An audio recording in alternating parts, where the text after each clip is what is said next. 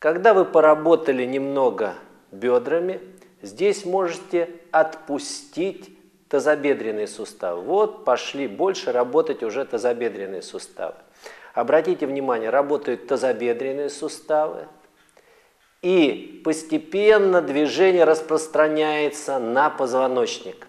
Самое главное, чтобы когда вы работали, движение было гармонично, чтобы не было э, хромоты в движении, чтобы одно движение не было больше.